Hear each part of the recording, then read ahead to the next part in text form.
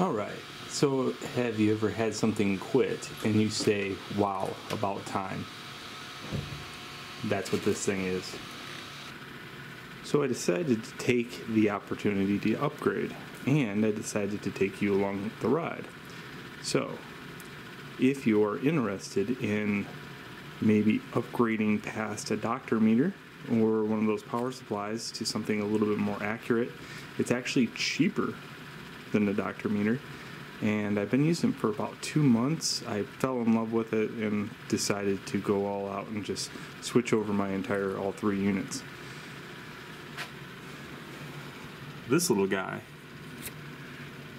now runs the show. This. I've been using these for about two months now, and wow, so accurate.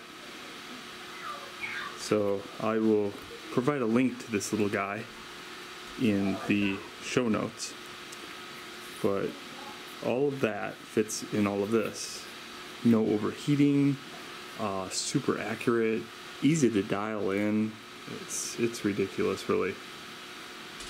But you don't know until you know what's available. Alright, so the first thing you need is a way to mount this somewhere. Now, they do make project boxes for these, and if you go to thingiverse.com, you could print off like one of these if you have a 3D printer. Okay, and the thing just fits in there just like that, and it just pops in. And then you can mount it to whatever because it's got screw holes. Now, if you don't have a 3D printer, you can make one of these, and it fits in there. This is just plastic from one of those lids that you store stuff in. You just cut it using tin snips and then cut the hole on the inside using a diamond bit wheel. That way it doesn't melt. So, either way you want to do it, you just have to find a way to mount it. I don't know which one I want to use yet. I think I will use the plastic one. So, cool. Alright, so I was never, ever a fan of banana plugs. Um, banana plugs were these things right here. Those. And they became ex- extinct when the company Radio Shack went out of business in America. Uh, they're hard to find, you have to get them online. And I don't know, I'm just not a big fan. So I'm going to be using plugs. That's right, augmented plugs. These are cheap, they're 48 cents. Extension cords are $1.37. Okay, they plug in there. Look at that. One's gonna be positive, one's gonna be negative. I also need two leads. Look at, they already have the two leads. So, this is going to get hooked up to this.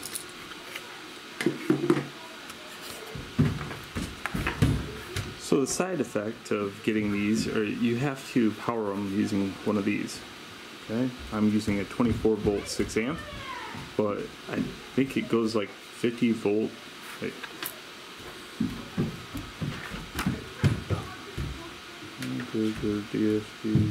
yeah, these are heavily made in China, by the way, but trust me when I say it's it's the good part of China. So, um, yeah, six to fifty-five volts. Nice.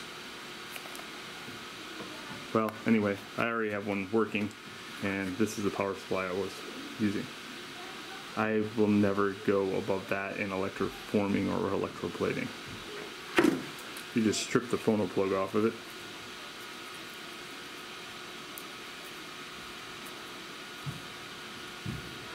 And that would go in the in, which they are labeled in and out. So in positive and negative. Just make sure that you're using the right. Positive is red. Now you'd be surprised how many people don't solder or work electronics. So, just in case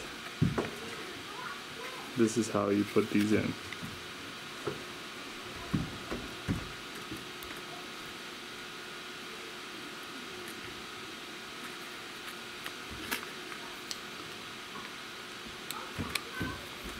So now for the other side, these are the outputs. What I'm going to have there is this 14 gauge stranded wire. Did I say stranded? I meant solid. Yes. 14 gauge solid wire. So they make these things. Perfect, right? Wire cutters.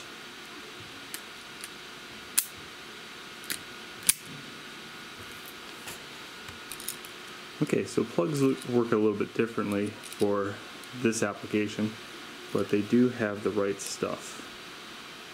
All you do is have to cut this thing, this little bridge, just like so. And if you look at these, they have these holes. That allows you to do this. So you can just insert it in there, and it automatically clamps down. Once you insert, you just pull a little bit and that locks it into position.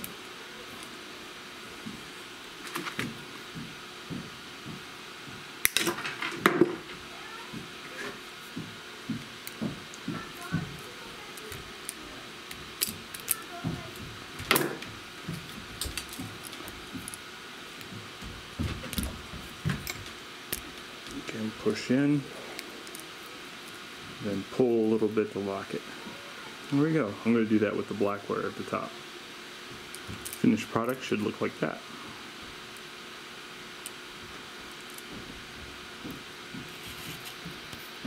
Okay, a red and black wire about 12 inches long.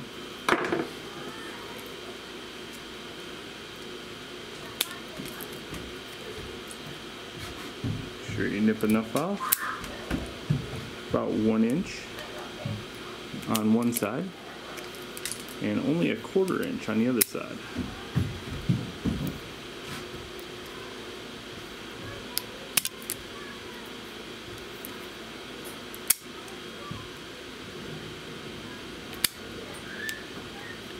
Just a little bit like that. This is a project box. Well, not really project box. It's um, yeah, I don't know what they call these, but um, you can get these at your local hardware store. And they're AC electricity, they mount outlets in it, so this is going to actually get mounted in here, just like that. Okay, but I want all my wiring to go in here. So I'm going to take these out of the equation, these bottom ones. I like this kind because I can quickly mount it with two screws. Okay, so works like this.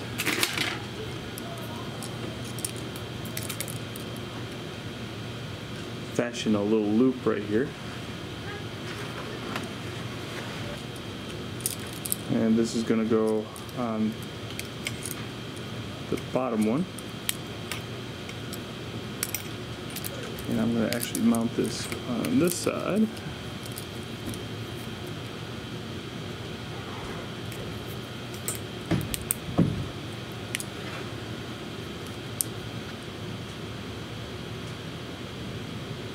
Cool. So that one is going to go there, and the red one is going to go down here. So they're not even close to each other finished product should look like this. And then I got these. These will connect into the back. So that one, the positive, goes on this side. The red one goes on this side, and the negative one goes on this side. So I'm going to actually mount this under my tank first, and then mount this project box and then run all the wires but then I'll show you what it looks like. Alright, so there's the mounted project box. And now I just screw that in place. And here's my tank, so right below it. This is the other unit I'm getting rid of. And this is the project box that it comes with sometimes. You can get one with a project box. But uh, yeah, not a big fan of that one either. It's just small, sits there. I kind of want something a little bit, um, you can see all these wires, right? Like, wow. Everywhere, wires, wires. So, yeah, it's a little wire management going on here. Okay, sweet. I'm to attach this and then I'm going to mount that power supply right here. So there is the finished product so far. Do not use, only for tank. Nice. Positives or negatives at the top, positives at the bottom. And here's how I mounted that. Nice and airy, gets all, you know, I've never seen it get hot, but even in its little case, the case is freaking ice cold. But um, I mounted this one so it's where the vents are up. I'm going to be taking it out of its case and mounting it right underneath the tank like this over on this side and then one over on this side too. So now we have these to build. I'll show you how that works. So extension cords, again, $1.37, come in a bunch of different colors. I do not need this end.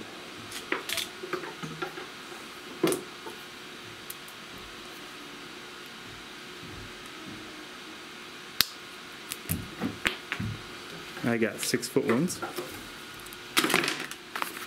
Here's a white one.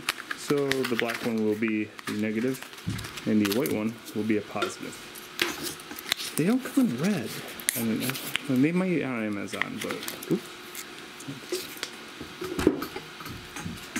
So if you can get one on Amazon that's red, that'd be kind of sweet looking.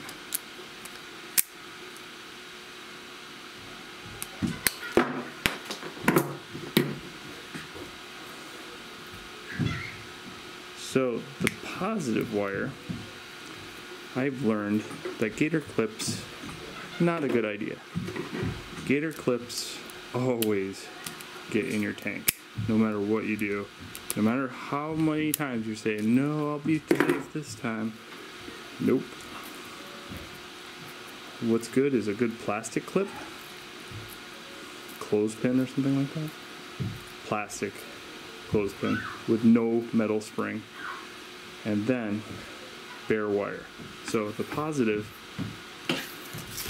is like this. Now,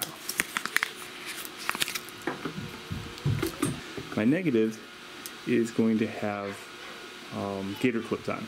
So I'll show you how to put gator clips on. I've had so many questions about soldering, you'd be surprised. So not many, not all people know how to solder, believe it or not. So I'll show you how that works. Soldering iron rule number one. You do not need an 8000 watt soldering iron. Okay, this is a 25 watt soldering iron and it works just fine for just about everything I do. It heats up very quickly. The more wattage, the longer it takes to heat up.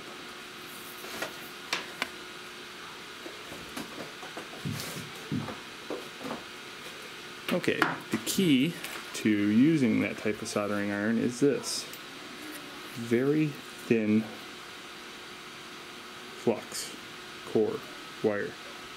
Okay, so this is solder, it's flux core solder, and you notice the diameter is about 16th of an inch. So that's what you want with a 25 watt soldering iron. This will last you forever helping hands, no matter where these are invaluable. Okay, you do not have to get the, the, expensive ones like this, but these are really nice for electroplating as far as like building your compositions are concerned. See that they're on magnets and you can put them in different locations and you can hold them at any location. So this is a very awesome build. I don't know what I would do without it. Helping hands. Harbor Freight. Best place on earth. If you do not have that in your country, move. These are $1.99 for all these. Okay, so that's how I got this, and you can see I got a Baron wire. Go ahead and stick the Baron wire into it, and you should see the Baron part right there. Alright, so now you just heat up that clip, and you have to heat the clip and the wire. And I found the best way to do that is pour a crap ton of solder. So I'm that will heat up both the wire and the tin. And leave it there. Because if you don't, you'll have a cold solder or cold connection.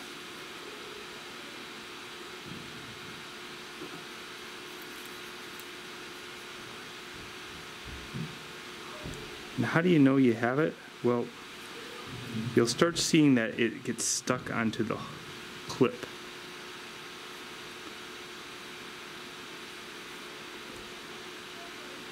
Just like that. You can see that the solder has been merged with the wire and the clip itself. Easy as that. Alright, so let me show you how this works. I have my unit.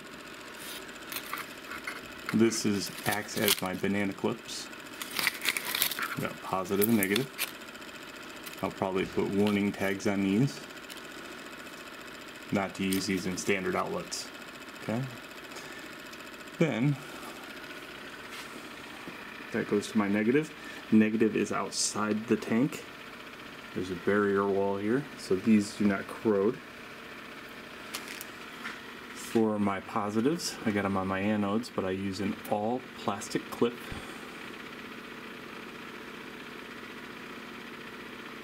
Cool. Now I'll show you the accuracy of this thing.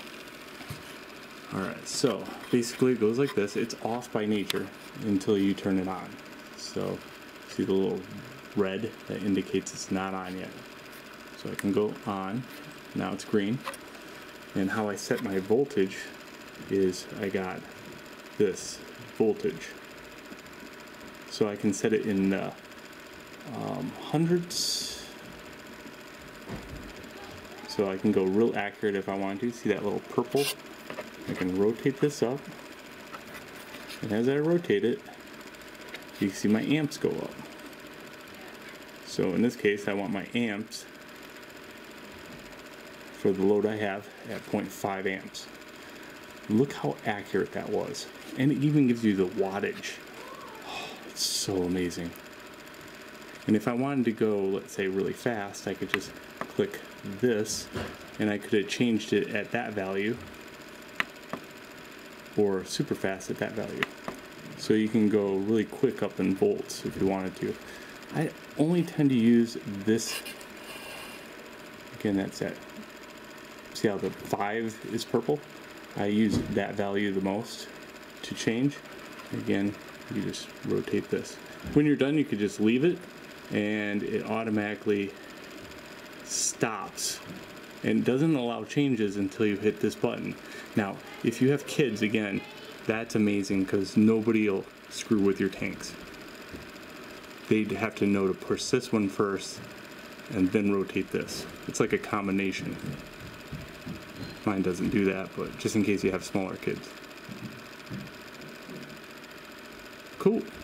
So, awesome power supply. Highly recommend it.